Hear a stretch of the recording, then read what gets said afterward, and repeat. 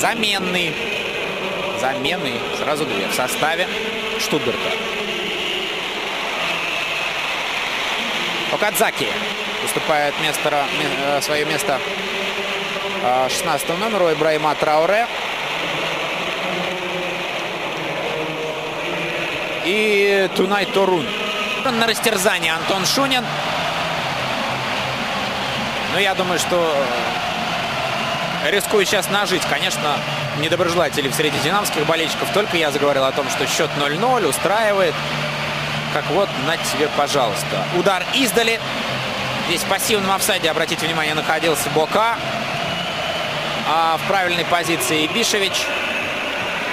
Плотнейший удар. Не накрыли, конечно, там. Вдалеке игроки а Динамо бьющего. Это был Хугланд.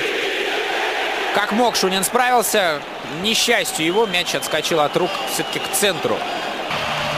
И теперь задача выйти в групповой этап Лиги Европы для Динамо становится, ну, скажу откровенно, мало реальной.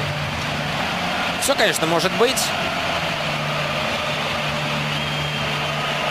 Данди забили 5 на арене Химки. Но Штутгарт это, конечно, совсем другого класса команда.